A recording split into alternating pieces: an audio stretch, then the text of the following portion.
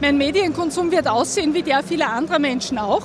Er wird auf mobilen Endgeräten stattfinden, er wird digital sein, er wird dann stattfinden, wann ich das möchte und wenn ich Zeit habe.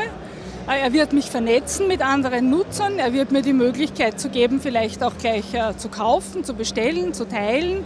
Also das sind so die wesentlichsten Themen, die ich hier sehe und ich denke, das ist eine äh, Entwicklung, die nicht nur mich alleine betrifft. Leider kaum noch Print, also merke ich selber.